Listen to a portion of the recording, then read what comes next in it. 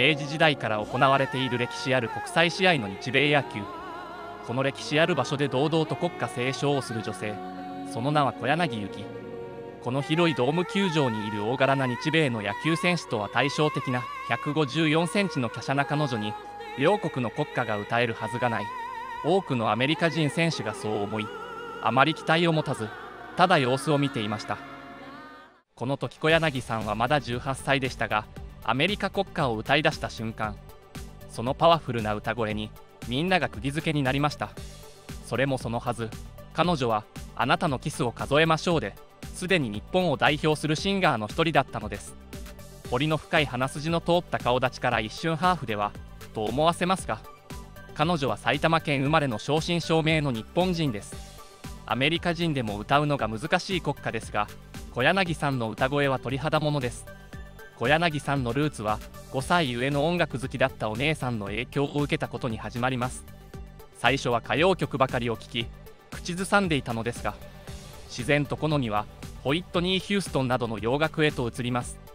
12歳の時にコロンビア歌謡曲新人歌手オーディションに出場し尊敬する大黒摩季さんの歌で全国決勝まで進みました。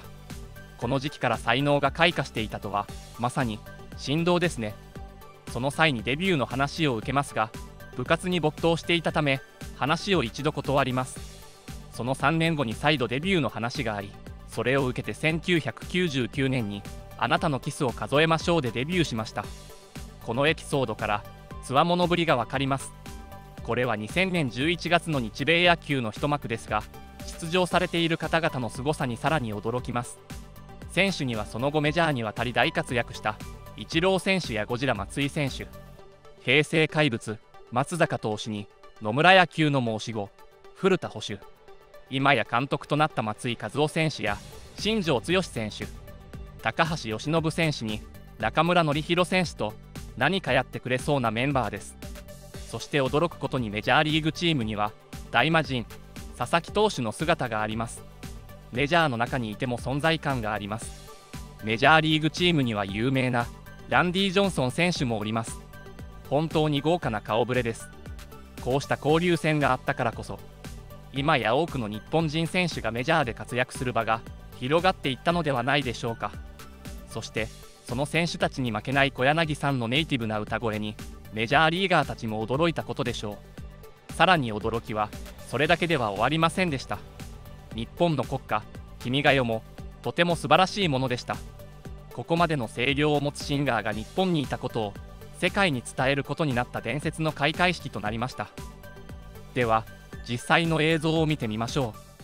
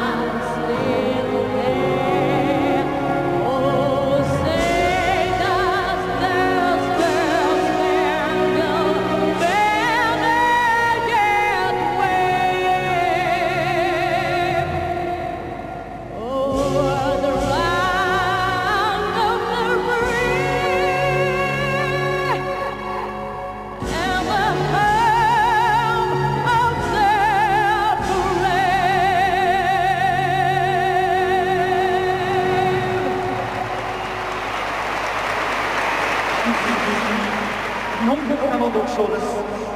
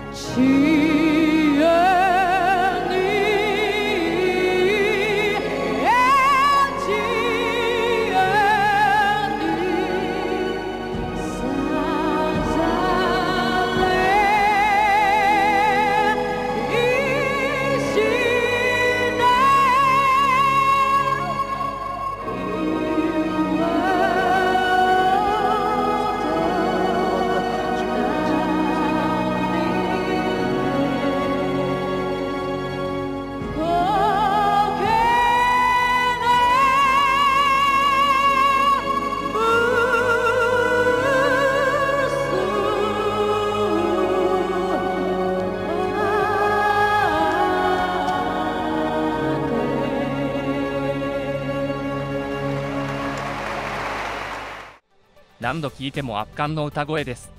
国歌斉唱が難しいと言われているのは歌の技術面のことだけではありません。その場の雰囲気で極度の緊張も受けるからです。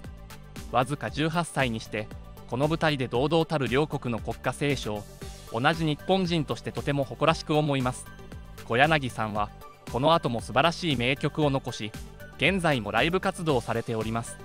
ぜひまた何かの機会に小柳さんの国歌斉唱を生で見てみたいですね。今は野球やサッカーなどあらゆるジャンルで世界に認められている日本の方たちは多いですがまだまだたくさんのすごい人がいる。そう胸を張って海外の人に言うことができる。神回となりました。今回の動画はここまでとなります。このチャンネルの他の動画もぜひチェックしてみてください。ご視聴ありがとうございました。